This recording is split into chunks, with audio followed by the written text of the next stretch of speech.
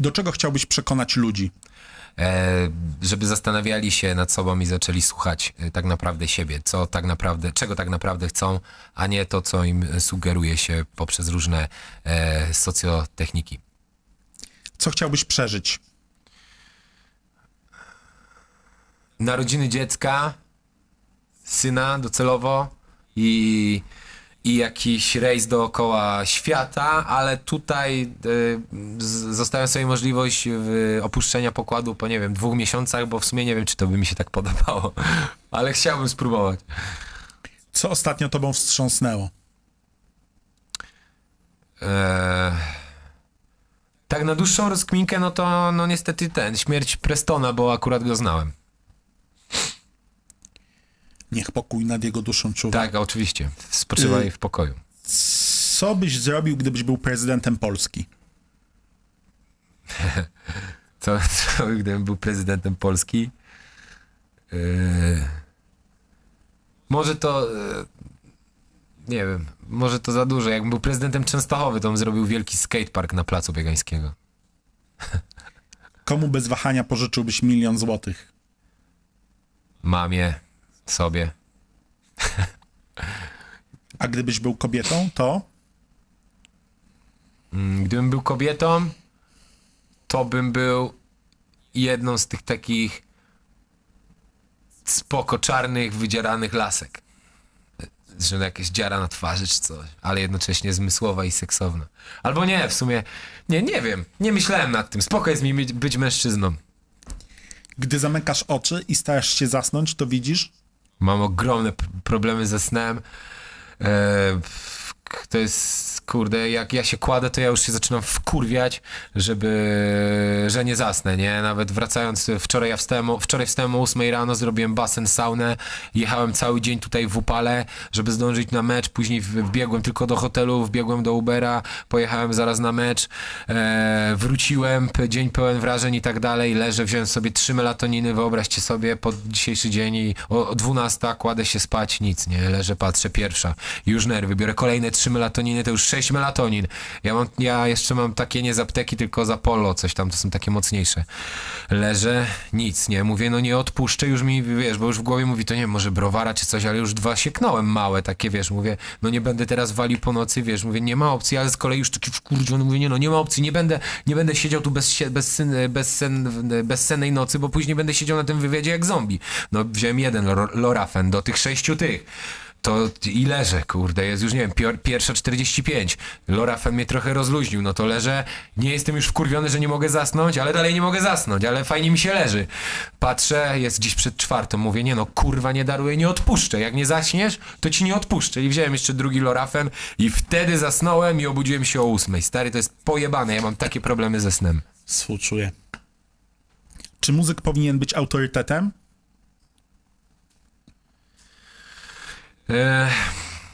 Właśnie wydaje mi się, że każdy muzyk ma, ma drogę do przejścia za sobą i, i na tej drodze to jest pewne, że e, nie jeden raz zachowuje się odpowiednio, tak jak powinien e, autorytet, a nie rzadko zachowuje się tak, jak nie powinien autorytet. I wydaje mi się, że to, to ym, analogicznie do tego, komu można by postawić pomnik, że wydaje mi się, że jest znacznie bardziej, jest, jest znacznie wiele bardziej stabilnych autorytetów, których życie można prześwietlić e, jako autorytety, niż, niż, niż życie muzyków, nie? To w sensie to zależy jaki ten muzyk, ale no generalnie to są lepsze autorytety. Chyba, że wiesz, no jednocześnie jak ktoś się jara jakimś tam mistrzem gitary, no to jest dla niego autorytetem i chce tak grać, ale tak generalnie to jakieś tak jak dla jak zwykłego dzieciaka, to wydaje mi się, że są lepsze. Z czego pod żadnym pozorem nie można w życiu zrezygnować? Wydaje mi się, że z własnych marzeń. Nigdy nie zapomnę, jak e, pewnego dnia gościłem u, u takiego ziomka, nie, nie, nie, nie powiem gdzie, i, i wpadliśmy do jego brata, no i ten brat tam, rodzina, dzie, dwójka dzieci, wszystko fajnie, siedzimy sobie i tak dalej.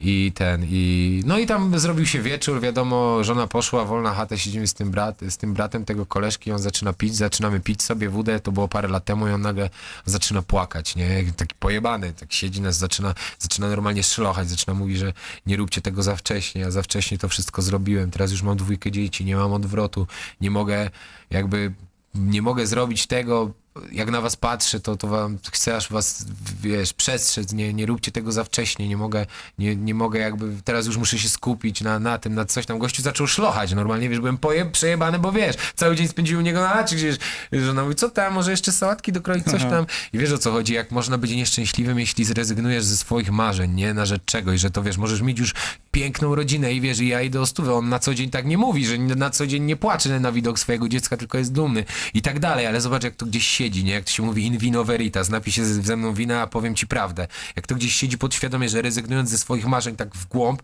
człowiek jako jednostka jest jakby, wydaje mi się, swoim własnym centrum wszechświata i nigdy nie powinien za wcześnie jakby stawać się nim dla kogoś, nie? I bo to później w nim siedzi i właśnie tak jak widzisz na tym przykładzie, że możesz mieć już dwójkę dzieci, dom, y, żonę, co ci z uśmiechem kroi sałatkę i tak dalej, ale jak ci coś w pewnym momencie pęknie, że czegoś, że coś mogłem, że coś mogłeś zrobić albo czegoś nie zrobiłeś, to zaczynasz łukać jak jakiś dzieciak, nie? Wódzie. Więc Jasne. marzenia. I na koniec największy grzech młodości. E, największy grzech młodości w skrócie powiem też. Alkohol i używki naprawdę niejednokrotnie teraz sobie myślę, że kuźwa, trenowałem tyle sportów, mogłem to pociągnąć, bo naprawdę straciłem wiele czasu jakby w Częstochowie, nie mam nic do tamtejszych lokali, e, jakby jest zajebiście i tak dalej, natomiast Częstochowa jest dosyć takim małym miastem, gdzie, gdzie nie mam też nic do niej, nie zrozumcie mnie źle, bo po prostu teraz są takie czasy, że cię wiesz, wycinają z kontekstu zdanie i później jesteś, kurwa, że strasz do swojego gniazda i tak dalej, nie. Chodzi mi o to, że straciłem bardzo wiele czasu na podobne melanże, rozumiesz, na chodzenie co tydzień w to samo miejsce, gdzie byli ci sami ludzie, robiliśmy te same rzeczy, te same zadymy, jakieś różne, później zgody, później ten, to tak naprawdę i wiesz, i to tak trwało, ja mogę powiedzieć, że tak naprawdę, nie wiem, z dwa i pół roku, trzy, jakieś, nie wiem, panie, ten, panienki, nie panienki, coś tam, że wiesz, jakby mogłem w tym czasie, wiesz, nie wiem, lepiej pojechać raz, raz na miesiąc, ale gdzieś w jakieś zajebiste miejsce i tam się wyszaleć, wiesz, a generalnie pracować i skupić się na czymś innym, nie? Jakby ja du- dużo, dużo czasu straciłem na to, tak wiesz, na takim e, mało jakby takim, wiesz, klubowym, byciu takim bywalcem takiego klubu, że tak naprawdę idziesz tam, nie wiesz po co, wiesz o co chodzi, jakby, bo wiesz, po, a wiesz po co, wiesz kto tam będzie, nic nowego, nie? Taka pętla świstaka. Dziękuję bardzo. Dzięki.